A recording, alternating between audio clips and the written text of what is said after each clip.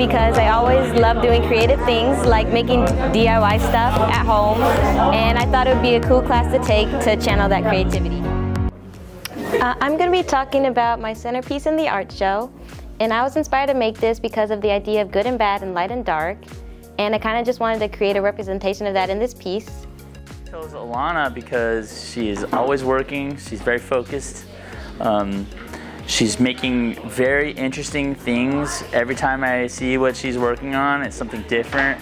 Um, she just has a natural drive and ability to create that um, is inspiring to me and others. Every day my process is to come, in, come into class, sit down, and maybe think about how I'm feeling or the weather or the current season, and I usually try to replicate that into my pieces. And no matter what's going on, uh, she plays tennis as well. She might be focused really. She's got a big match coming up. She's here, she's working, and um, she's just in it all the way.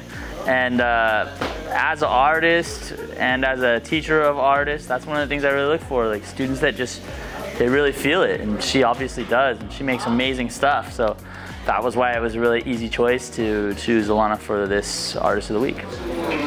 But also, how, what the current season is or the holidays that are coming up.